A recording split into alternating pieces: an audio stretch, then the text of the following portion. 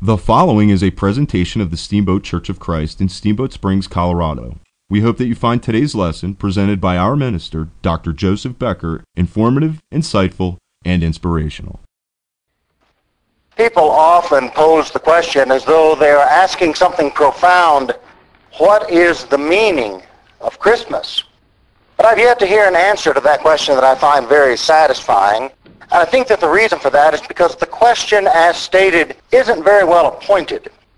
Because it assumes that at its core, the primary value of the incarnation of Christ lies in what it represents, rather than in what it is. But, beloved, meaning is fungible. If you ask a hundred people what is the meaning of Christmas, you'll get a hundred different answers. Because meaning, as the word meaning is used in our society, is a product of experience. And the experience of Christmas is highly subjective. The day itself is a cipher, a placeholder for whatever meaning we choose to assign to it. And whatever meaning you put into it is the meaning you'll get out of it. So the question, what is the meaning of Christmas itself is all but meaningless. But if instead we were to ask, what is the substance of Christmas? We would get a very different result. Because the substance of Christmas is not subjective, it's concrete. As Paul tells us in Colossians 1.17, we are free in Christ to assign meaning to any day, recognizing that the meaning is but a shadow of the substance, of the reality that lends its significance to that day. Because substance is not fungible. It is what it is. And the substance, the reality that substantiates the shadow we call Christmas, is the incarnation of Christ. Now, in our tradition, we do not follow the Lenten calendar. Our services, week to week, are pretty much the same, regardless of the season. And here at the Steamboat Church of Christ, we've been studying the life of Christ for, well, 350 weeks now, about seven years, covering his life chronotopically and in our studies, we've come to the trial of Christ before Pilate. And last week we came to the point in the narrative where in John 18:38, Pilate famously asked Jesus, "What is truth?" Now the answer to that question on its own isn't actually that hard to find. Classically speaking, we understand truth to be that which corresponds to reality. However, as any first-year philosophy student will tell you, reality is experienced by each of us subjectively. For instance, one of my favorite composers of all time is Igor Stravinsky.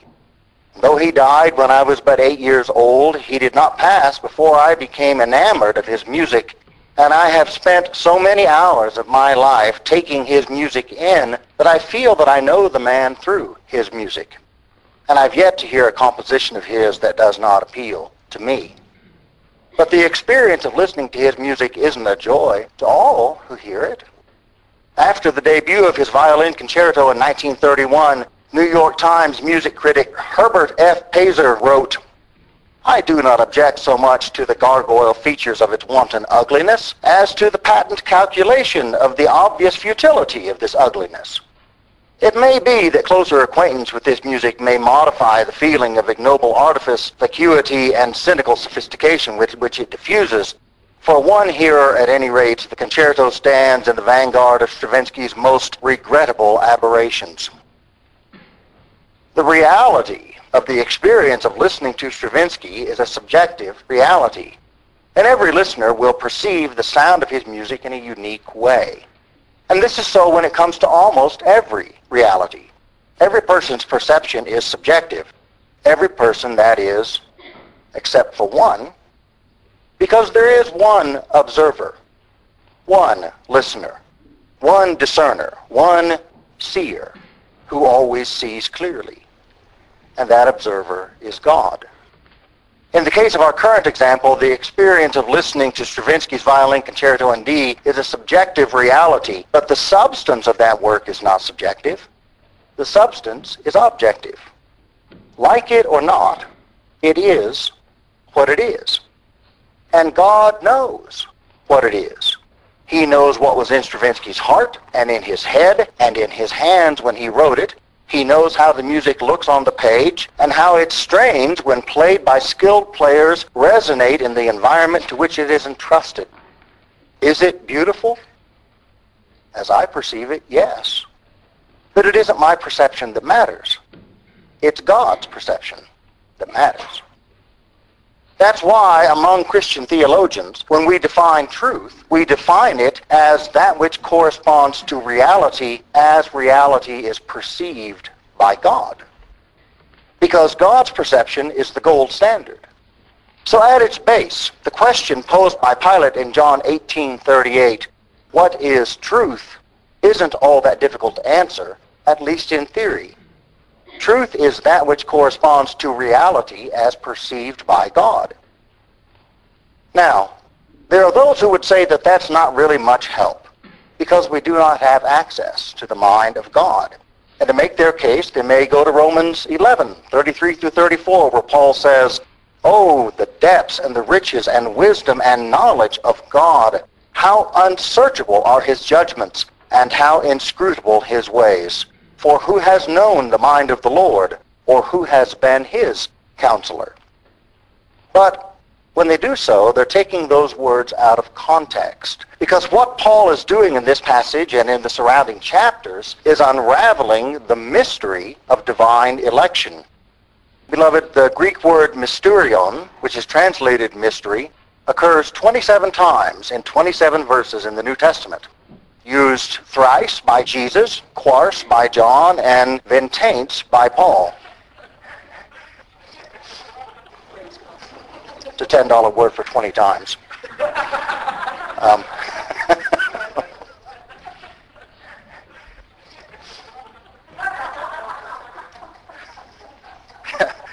and every time the word is used, the mystery is explained. The word mystery is not used in the Bible as a smokescreen for that which cannot be understood. It is used as a declaration that that which had hitherto been unexplained has now been made clear. In Romans 11:34, Paul asks rhetorically, "Who has known the mind of the Lord?" And in 1 Corinthians 2:12 through 16, he gives a definite answer to that question, saying, "Now we have received not the spirit of the world, but the Spirit who is from God, that we might understand the things freely given us by God. And we impart this in words not taught by human wisdom, but taught by the Spirit, revealing spiritual realities to you who are spiritual beings. The natural person does not receive the things of the Spirit of God, for they are folly to him, and he is not able to understand them because they are spiritually discerned. The spiritual person discerns all things, even as he himself remains inscrutable to the world. For who has understood the mind of the Lord so as to instruct him? But we have the mind of Christ. And the we here, as I understand the matter, is the apostles, whose minds were opened by the Lord in Luke 24:45 that they might understand, and who have revealed the mind of the Lord to us in the pages of Holy Scripture. Thus, what is revealed to us in the Word of God is not first and foremost meaningful.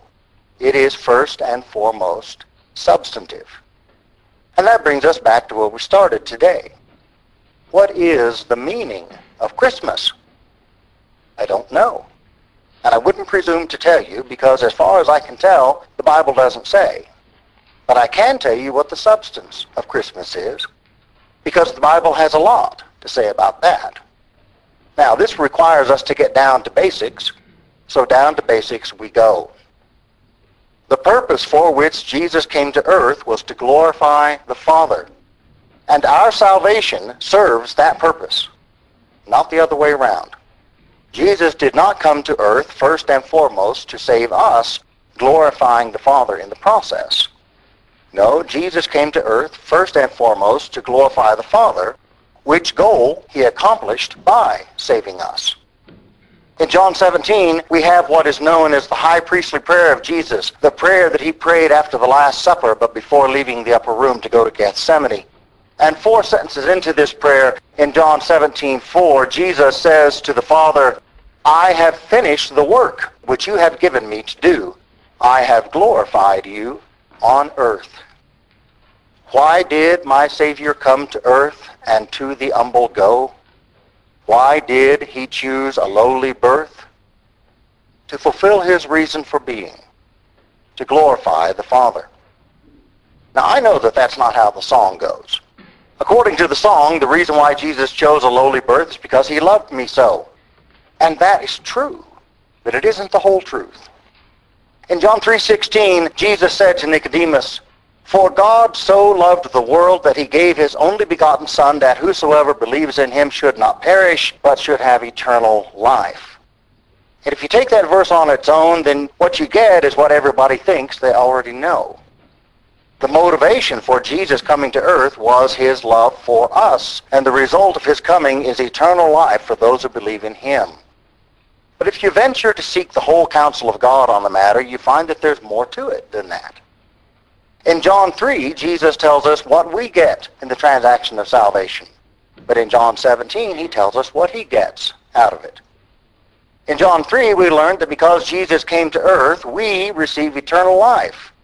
But in John 17, we learn what eternal life is.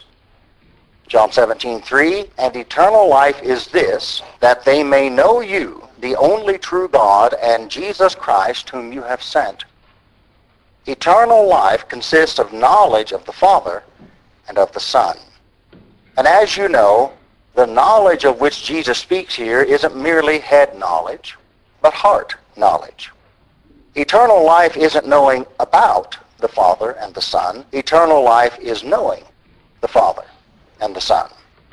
And biblically speaking, knowledge involves intimacy. In Genesis 4.1, we read that Adam knew his wife, Eve, and she conceived and bore Cain. And that isn't a euphemism. That isn't code. That isn't just a polite way of saying that Adam and Eve consummated their marriage. In the Bible, the language of knowledge is used to refer to intimacy. And that's the way it's used in John 17.3. Eternal life is this, that we may know the Father and the Son whom he sent. Or as Jesus puts it a few verses later in John 17, 20 through 26, I do not ask for these only, but also for those who will believe in me through their word, that they may all be one, just as you, Father, are in me, and I in you, that they also may be in us, so that the world may believe that you have sent me. The glory that you have given me I have given to them, that they may be one, even as we are one. I in them, and you in me, that they may become perfectly one, so that the world may know that you sent me and loved them even as you loved me. Father, I desire that they also, whom you have given me, may be with me where I am, to see my glory that you have given me, because you loved me before the foundation of the world. O righteous Father, even though the world does not know you, I know you, and these know that you have sent me. I made known to them your name, and I will continue to make it known, that the love with which you have loved me may be in them, even as I am in them. Beloved, the oneness of which Jesus speaks here is unity of heart and mind and soul and strength. And as we take on oneness with Christ, we take on not just his mind, but his heart as well. That is, we become one with Christ in our purposes, in our reason for being. Christ did not come to earth to fulfill our heart's desires by doing our bidding. He came to earth to captivate our heart's desires, that it would become our joy to do his bidding. That's what Christ gets out of coming to earth. That's the upshot for him in granting us eternal life. Because what eternal life is, is co-intimacy with God and with Jesus Christ whom he sent, and solidarity with Christ in his mission. Because what the Father sent the Son to do, according to John 17:4, is to glorify the Father on earth. And because we know the Son, we are one with them in that enterprise. Our reason for being is to glorify the Father in the name of the Son. That's why Jesus came to earth to engage us in that enterprise. That's one of the things that Paul tells us in his great hymn to the incarnation of Christ in Philippians 2, 5 through 11, where he says, Let this mind be in you, which was also in Christ Jesus, With these words, Paul calls us to co-intimacy with Christ, beckoning us to be one with him. And one with him in what sense? Let this mind be in you which was also in Christ Jesus, who being in the form of God did not consider it robbery to be equal with God, but made himself of no reputation, taking the form of a bondservant and coming in the likeness of men. That's the incarnation. That's Jesus being born of Mary. And being found in appearance as a man, he humbled himself and became obedient to the point of death, even the death of the cross. And that's our salvation. But that isn't the end of the story. That's the middle of the story. Our salvation isn't an end in and of itself. It's a means to an end. Jesus died on the cross and saved us in order to accomplish something else, something greater. Therefore, God also has highly exalted him and given him the name which is above every name, that at the name of Jesus every knee should bow, every knee in heaven, every knee on earth, and every knee under the earth, and that every tongue should confess that Jesus Christ is Lord. But that isn't the end of the story yet, either.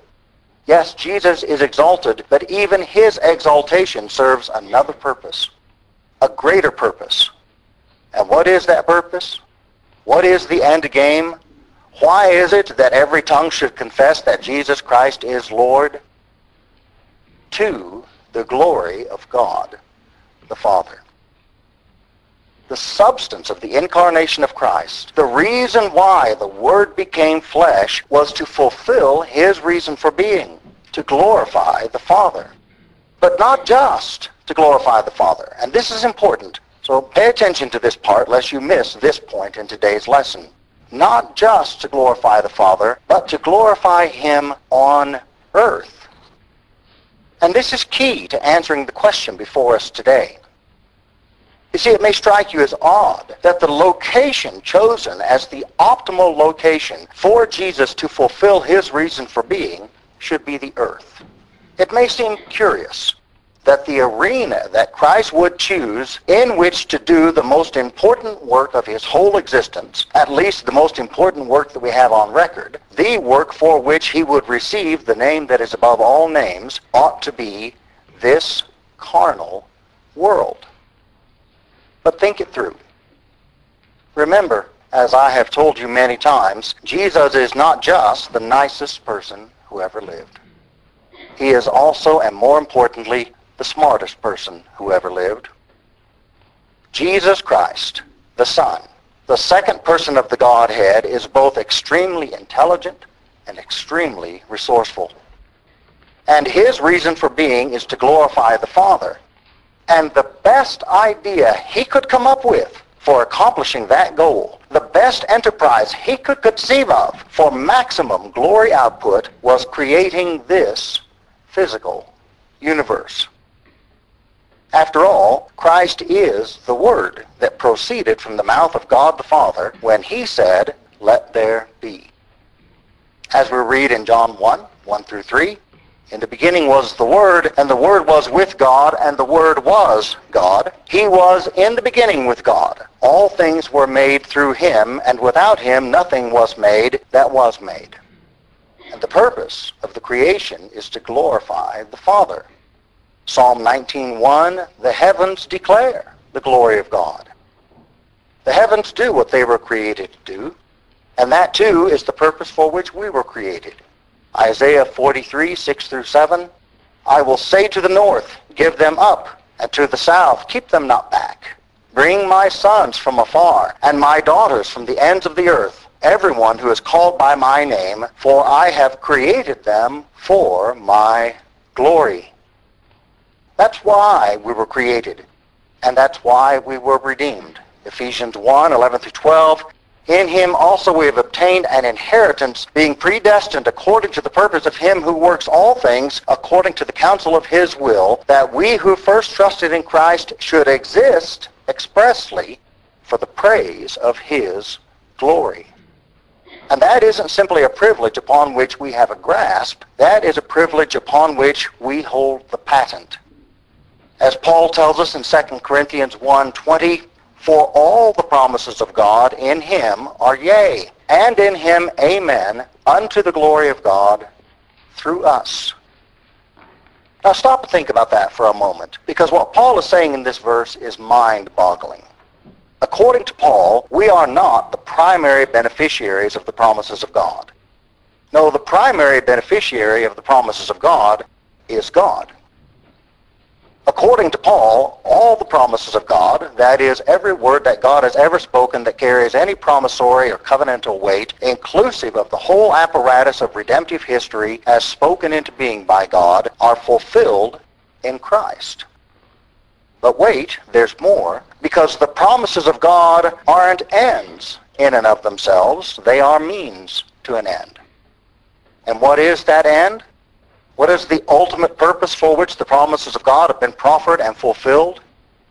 Unto the glory of God.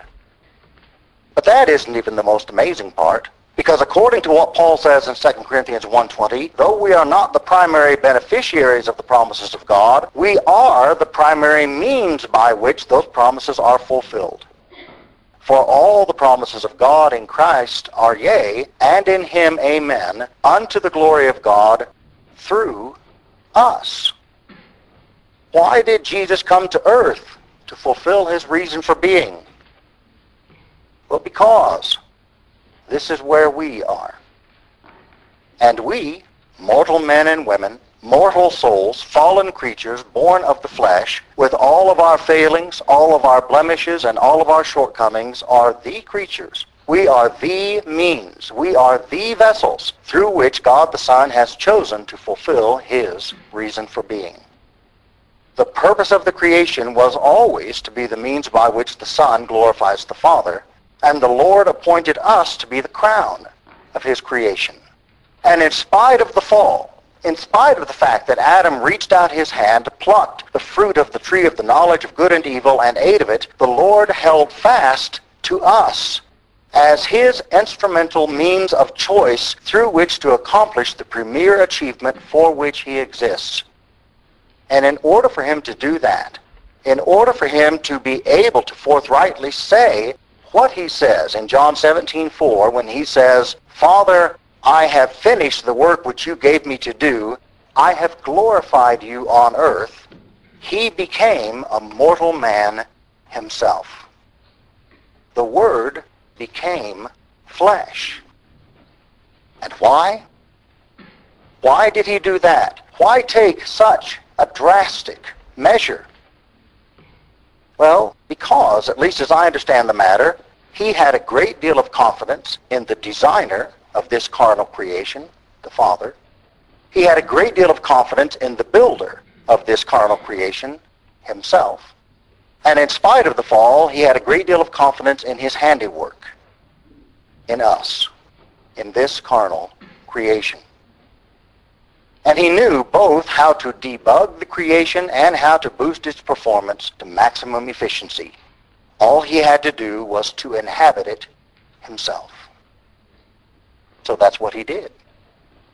The Word became flesh. Christ was born of Mary the Lord became human. He became a living soul, a living human body inhabited by a living human spirit. And he walked the earth for 30 some odd years as a living soul, and he died as a living soul, and he was raised as a living soul, now glorified and seated at the right hand of the Father, ruling and reigning over the kingdom of God in glorified flesh.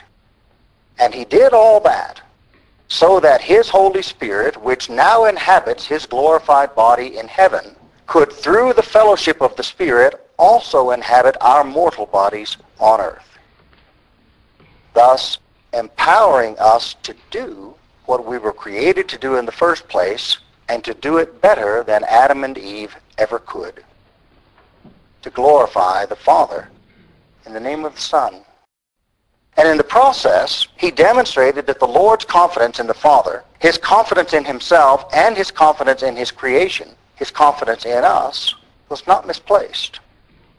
That's the faith of our Lord Jesus Christ. Romans 3, 21 through 22. But now the righteousness of God, the righteousness to which the law and the prophets testify, has been manifested apart from the law, for through the faith of Jesus Christ, the righteousness of God is wrought in all who believe. Galatians 2:16 For we know that a man is justified not by works of the law but by the faith of Jesus. This is why we have put our faith in Christ Jesus that we might be justified by the faith of Christ. Galatians 2:20 I am crucified with Christ nevertheless I live Yet not I, but Christ liveth in me, and the life which I now live in the flesh, I live by the faith of the Son of God, who loved me and gave himself for me. Now, I invite you to go and look these up for yourselves in the Greek, if you can, if you can find the resources. And while you're at it, look up Galatians 3.22, Ephesians 3.12, Philippians 3.9, Colossians 2.12, and Revelation 14.12. This isn't a mistake. It isn't a misprint. It isn't a mistranslation. Yes, we must put our faith in Christ, and there are many passages that say so, but there are no fewer than eight passages in the New Testament that tell us that the reason why faith in Jesus Christ accomplishes what it accomplishes is because of the faith of Jesus Christ. Well, his faith in what? His faith in the Father, his faith in himself, and his faith in creation. That is his faith in us. Christ has a job to do. He has a reason for being, which is to glorify the Father. And in order to fulfill his reason for being, he bet the farm on this carnal creation. And he had so much faith in the Father's design and in his own execution of that design and in the product of that design that he wagered his own equality with the Father on its efficacy and setting his very self-existence at stake committed himself lock, stock, and barrel to this carnal world, inhabiting it and inhabiting us for the glory of the Father. That's the reality of which Paul speaks in Colossians 1.27 when he tells the Christians at Colossae, Christ in you is the hope of glory. The Word became flesh, and in so doing gave substance to the hope in which this carnal world was created in the first place, that according to its design it would produce glory for the Father in the name of the Son. What is truth? Truth is that which corresponds to reality as perceived by God. What is the true meaning of Christmas? I don't know the meaning. But I know the substance. Because I know the truth of the incarnation of Christ as perceived by God, because the Bible, which is the Word of God, reveals this substance to us. In an unparalleled demonstration of his faith in the Father, his faith in himself, and his faith in us, the Word became flesh, and in so doing fulfilled his reason for being, to glorify the Father. Christ in us is, in fact and in truth, the hope of glory. That's the substance of Christmas in the incarnation of Christ, we now have the awesome responsibility and the awesome privilege of participating in the greatest for-profit enterprise ever undertaken. O holy child of Bethlehem, descend to us, we pray. Cast out our sin and enter in. Be born in us today. We hear the heavenly angels the great glad tidings tell. Oh, come to us. Abide with us, our Lord Emmanuel. That's my lesson for today. Merry Christmas, everybody. This has been a presentation of the Steamboat Church of Christ. We hope that you have found Dr. Becker's message well appointed.